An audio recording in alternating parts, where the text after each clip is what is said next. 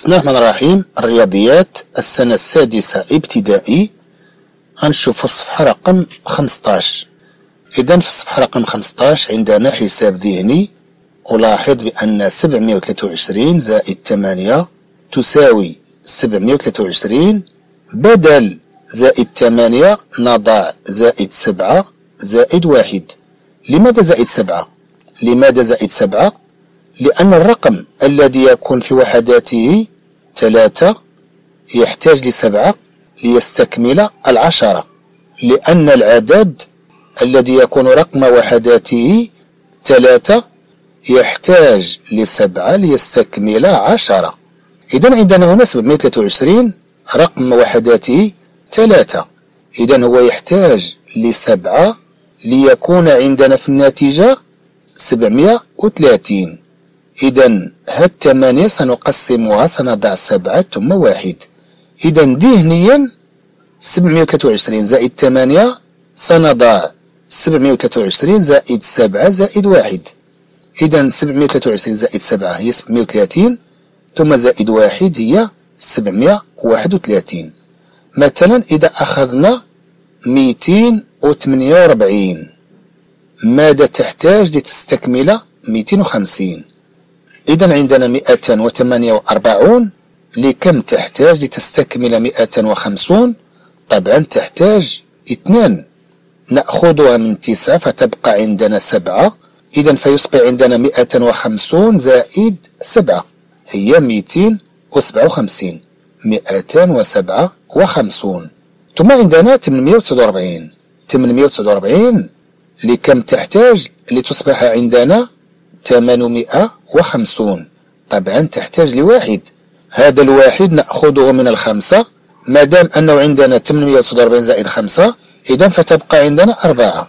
إذا 850 زائد أربعة 854 فتكون النتيجة 854 ثم عندنا 435 لكم تحتاج لتصبح عندنا 440 طبعا نحتاج لخمسة.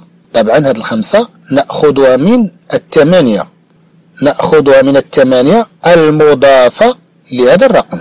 فتبقى عندنا كإضافة فقط ثلاثة. ما دام أننا أخذنا من الثمانية خمسة لنضيفها لأربعمائة وخمسة وثلاثون إذا الثمانية سيبقى فيها فقط ثلاثة. إذا نأخذها من الثمانية المضافة عندنا هنا فيبقى فيها فقط ثلاثة. إذا 435 أضفنا لها خمسة من ثمانية. إذا فتصبح عندنا 440 زائد ثلاثة المتبقية من الثمانية التي أخذنا من الخمسة. فتصبح عندنا النتيجة 443 إذا نأخذ العدد الأخير 156 زائد 7 إذا لكم تحتاج 156 لتصبح عندنا مئة وستون. طبعا نحتاج لأربعة. إذا نأخذها من سبعة وتبقى مكان سبعة تبقى ثلاثة. إذا سبعة ناقص أربعة يعني ثلاثة. هذه الأربعة ستضاف وستة وخمسون. فتصبح عندنا مئة وستون زائد ثلاثة. إذا فيكون الخارج مئة وثلاثة وستون. نأخذ التمرين الأول. أرسم ثلاثة. أرسم ثلاثة نقط أ و ب و س غير مستقيمية. يعني غنوضعو أ ب و س ولكن بشكل غير مستقيمي. يعني أن لا تشكل لنا مستقيما. ما نوضعوهاش مقادة.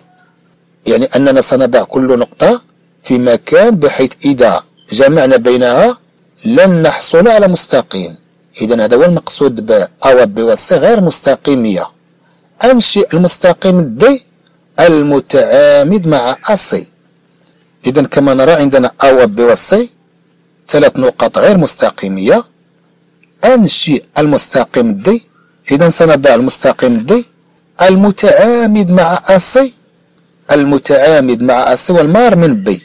إذا عندنا هذا المستقيم دي إذا كما نرى عندنا المستقيم دي المتعامد مع أسي ثم المار من بي من نقطة بي المار من نقطة بي ثم أنشئ المستقيم D prime المستقيم دي فتحة كما لو نقول D prime إذا الموازي لأسي والمار من النقطة بي ماذا أستنتج بالنسبة للمستقيمين دي وال D prime عندنا الدي متعامد مع أسي ثم أننا وضعنا ال D prime الموازي لأسي إذا فكيف هو؟ الدي وال D prime طبعا أنهما متعامدان.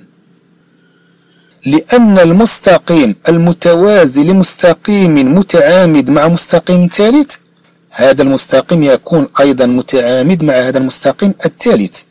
إذا كما نرى. إذا المستقيم الموازي لمستقيم متعامد مع مستقيم ثالث هذا المستقيم متعامد أيضا مع هذا المستقيم الثالث كما عندنا هنا. في التمرين الثاني أنشئ المستقيم دي واحد المار من أه والموازي للمستقيم أبي طبعا سنتبع الشكل الذي عندنا هنا كما نرى عندنا أ بي سي إذا عندنا هاد الزاوية طبعا عندنا المستقيم أ بي متعامد مع المستقيم أ سي وملي تنقولوا المستقيم راه ما تنعنيوش هاد القطعة اللي محدودة عندنا هنا هاد القطعة هي فقط جزء من هاد المستقيم. هي فقط تحدد لنا اتجاه المستقيم. أما المستقيم فهو أطول ولا يمكننا أن نحده بكتابة ولا يمكننا أن نحده بهذه الخطوط التي عندنا هنا. إذا المستقيم هو أطول يعني أنه يتجاوز الورقة. يتجاوز هذه الورقة التي عندنا هنا. المستقيم ما تيكونش محدود من الطرفين ديالو إلا إذا تكلمنا عن نصف المستقيم. فهو يكون محدود من أحد جوانبه لكن من الجانب الآخر يكون غير محدود. وهو أيضا عكس القطعة كما عندنا هنا نتكلم عن أ بي هذه قطعة. لكنها في نفس الوقت تمثل لنا اتجاه المستقيم أ بي ثم عندنا أسي طبعا نتكلم عن المستقيم لا نتكلم عن القطعة التي هي فقط جزء من هذا المستقيم. إذا أنشئ المستقيم دي واحد المار من أه إذا سنضع كما نرى المستقيم دي واحد المار من أه والمتوازي المستقيم أبي يعني أنه يكون مار من أه كما نرى ثم أنه يكون متوازي المستقيم؟ أبي. إذا المستقيم دي واحد يكون مار من أه ثم متوازي للمستقيم أبي. ثم يكون متوازي للمستقيم أبي. طبعا كما قلنا الآن أبي لا يعني هذه القطعة التي عندنا هنا بل يعني المستقيم المار من هد القطعة أبي. إذا ثم المستقيم دي واحد يقطع في النقطة أف. إذا المستقيم دي واحد يقطع أسي في النقطة اف إذا على المستقيم الموالي. ماذا أستنتج بالنسبة للمستقيمين اف وأسي إذا اف وأسي طبعا أنهما متعامدان. لماذا؟ لأن اف هو موازي لمستقيم متعامد مع مستقيم ثالث فهو سيكون حتما متعامد مع هذا المستقيم الثالث. إذا مستقيمان متوازيان المستقيم المتعامد على أحدهما يكون متعامد حتما مع المستقيم الآخر. ثم أنشئ المستقيم دي اثنان الموازي لأسي ثم أنشئ المستقيم دي اثنان الموازي لأسي إذا سنضع كما نرى المستقيم دي اثنان الموازي للمستقيم أسي إذا هذا المستقيم دي اثنان. المستقيم دي اثنان يقطع المستقيم أب في الجي إذا المستقيم دي اثنان يقطع المستقيم أب في النقطة جي ماذا أستنتج بالنسبة للمستقيمين أو جي و بي إذا كما نرى عندنا أو جي إذا مستقيم أو جي المقصود المستقيم دي اثنان بمعنى آخر. ثم هو المستقيم بي طبعا أنهما متعامدان. إذا طبعا عندنا بي متعامد مع أسي فالمستقيم المتعامد على أحدهما هو موازي للمستقيم الآخر. عندما يكون عندنا مستقيمان متعامدان كأب وأسي فالمستقيم المتعامد على أحدهما يكون متوازي مع الآخر. هذه أيضا قاعدة. إذا المستقيم دي اثنان المار من أ وجي هو متعامد مع أبي وبالتالي فهو متوازي لأسي ماذا أستنتج بالنسبة للمستقيمين؟ أو أف وأو جي أو أف يعني أو أف ثم أو جي هما أيضا متعامدان. إذا عندنا أبي متعامد مع أسي ثم عندنا أو أف متعامد متعامد مع أسي إذا فهو متوازي مع أبي. ثم عندنا جي أو هو متوازي مع أسي إذا وبالتالي فهو متعامد مع أبي ومتعامد مع اف أ الموازي لأبي. متعامد مع اف أ الموازي لأبي. إذا هي فقط مسألة استنتاجات. بالنسبة للسؤال الثالث ألاحظ الشكل ثم أحدد مستقيمين متعامدين. ومستقيمين متوازيين وأعلل الجواب. أحدد مستقيمين متعامدين؟ طبعا حسب الرسم كما نرى عندنا الداء متعامد مع أصي والدليل على هذا هو هد إشارة التعامد. ثم عندنا أب متعامد مع أسي نفس الشيء عندنا إشارة تعامد ثم عندنا دي متعامد مع دي نفس الشيء عندنا الإشارة ثم عندنا سي أه متعامد مع أو أه سي أه متعامد مع أو أه إشارة التعامد على الرسم تبين هذا. ثم ومستقيمان متوازيين.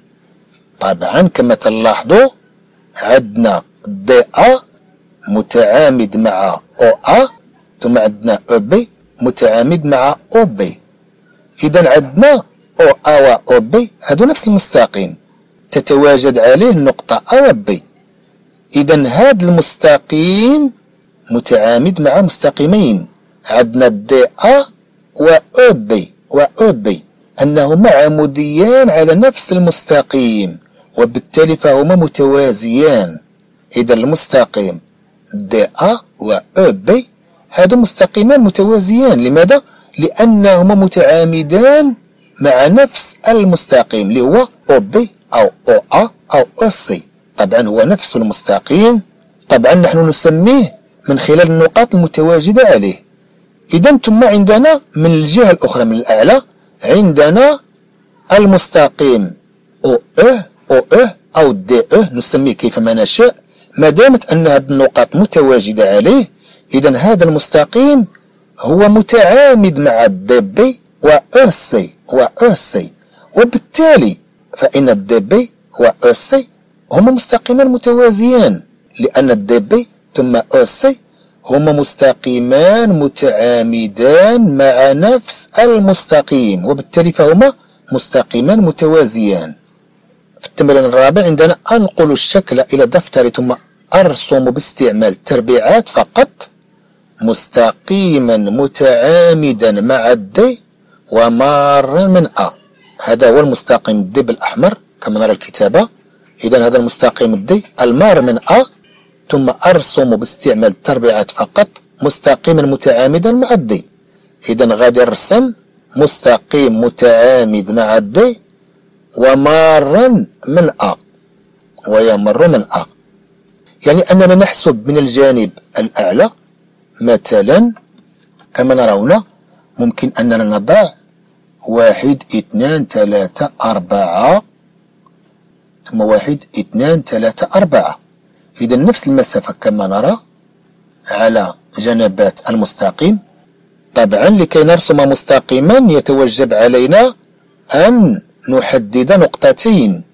طبعا هنا عندنا أ وعلينا أن نحدد النقطة الثانية لرسم هذا المستقيم.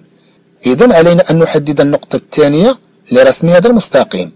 إذا تحديد هذه النقطة يكون كما طلب منا من خلال عد هذه التربيعات.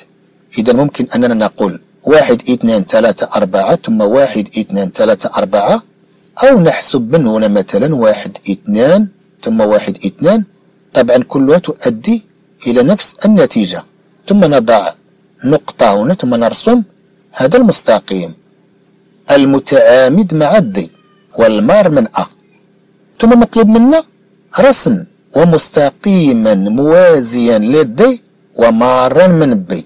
طبعا بنفس الطريقة نعد واحد اثنان ثلاثة أربعة ثم واحد اثنان ثلاثة أربعة بنفس الشكل.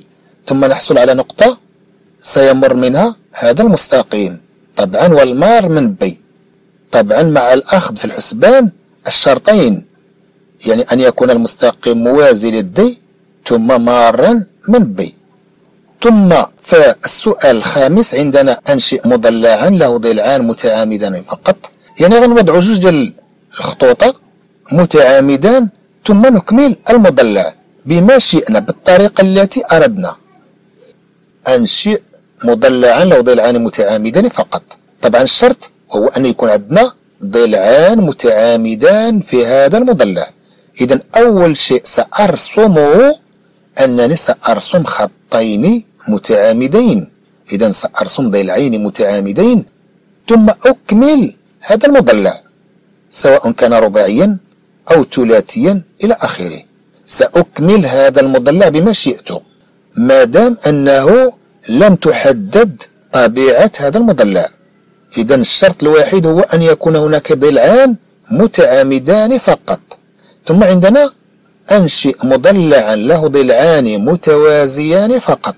طبعا سأضع ضلعان متوازيان وفي الحالة أكيد سيكون مضلع رباعي أو خماسي أو أكثر. لن يكون أقل من هذا. إذا سأنشئ ضلعان متوازيان يعني الشرط الوحيد الموجود هنا المطلوب هنا. طبعا أكمل بما شئت. وكيفما شئت؟ وبالتالي سأحصل على مضلع له ضلعان متوازيان فقط. ألاحظ النتيجة التي توصلت إليها والنتيجة التي توصل إليها من يجلس جانبي. أكيد بأن النتيجة لن تكون وحيدة لأنه بقي هناك حرية في الخيارات المتبقية. أكيد أن النتيجة لن تكون واحدة لأن الخيارات المتبقية تعطينا حرية تعطينا خيارات في رسم ما تبقى من المضلع وبالتالي ستكون عندنا عدة رسومات لهذا المضلع. أنشطة الدعم والتقوية. أنشئ الشكل في دفتري إذا كما نرى. أنشئ الشكل في دفتري إذا سنضع الشكل كما نرى. إذا عندنا أ بي ساد دي إذا بهذا الشكل ماذا ألاحظ بالنسبة للمستقيمين؟ أ بي والساد دي أ بي والساد دي طبعا هما مستقيمان متوازيان. طبعا هما مستقيمان متوازيان. لأن ضلعي المضلع أ بي ساد دي هاد الضلعين أ بي والساد دي هما متوازيان. وهاد الضلعين هما ضمن هاد المستقيمين. إذا عندنا الضلع أبي هو ضمن المستقيم أبي ثم عندنا الضلع السدي هو ضمن المستقيم السدي إذا أكيد أبي والسدي هما مستقيمان متوازيان. ثم أنشئ مستقيما دي واحد إذا سنضع مستقيم دي واحد متعامد مع أبي. متعامد مع أبي ولكنه مار أيضا من أ. إذا هو متعامد مع أبي ويمر من النقطة أ. ماذا أستنتج بالنسبة للمستقيمين سيد دي والدي واحد إذا سيد دي ثم الدي واحد طبعا فهما متعامدان. لماذا؟ لأن أبي والسيد دي هما مستقيمان متوازيان المستقيم المتعامد على أحدهما هو أيضا متعامد مع المستقيم الآخر. ثم عندنا أنشئ المستقيم دي اثنان يعني من الجهة الأخرى ولكنه مار من النقطة دي والمار من النقطة دي. ماذا أستنتج إذا المستقيم دي اثنان متعامد مع السيد دي ومار من دي ماذا أستنتج بالنسبة للمستقيمين؟ دي اثنان وأبي إذا عندنا أبي ثم دي اثنان. إذا فهما متعامدان. إذا المستقيم دي اثنان والمستقيم أبي هما متعامدان. لماذا؟ لأنه كما قلنا الآن أنشئ مستقيما د اثنان متعامد مع السد. إذا المستقيم دي اثنان متعامد مع السدي المتوازي مع أبي إذا أكيد فهو متعامد مع مستقيم متوازي مع آخر. إذا فهذا المستقيم سيكون أيضا متعامد مع المستقيم الآخر. المستقيم دي اثنان متعامد مع مستقيم متوازي مع مستقيم آخر. وبالتالي فهد دي اثنان سيكون متعامد أيضا مع المستقيم الآخر. إذا مستقيمان متوازيان كل مستقيم متعامد على أحدهما سيكون أيضا متعامد مع الآخر. إذا ماذا أستنتج بالنسبة للمستقيمين؟ ماذا أستنتج بالنسبة للمستقيمين؟ دي واحد ودي اثنان. طبعا دي واحد ودي اثنان هما مستقيمان متوازيان. عندنا المستقيم أبي والسدي هما مستقيمان متوازيان. إذا كما نتكلم عن مستقيم واحد له نفس الاتجاه. إذا المستقيم دي واحد هو عمودي على أبي إذا كأننا نقول بأنه عمودي على هذا الاتجاه ثم عندنا دي اثنان هو عمودي على السدي فهو أيضا عمودي على نفس الاتجاه وبالتالي فإن الدي واحد والدي اثنان العموديان على نفس الاتجاه. كما نتكلم عن مستقيم واحد له نفس الاتجاه وبالتالي فهما متوازيان. إذا فالدي واحد والدي اثنان هما مستقيمان متوازيان.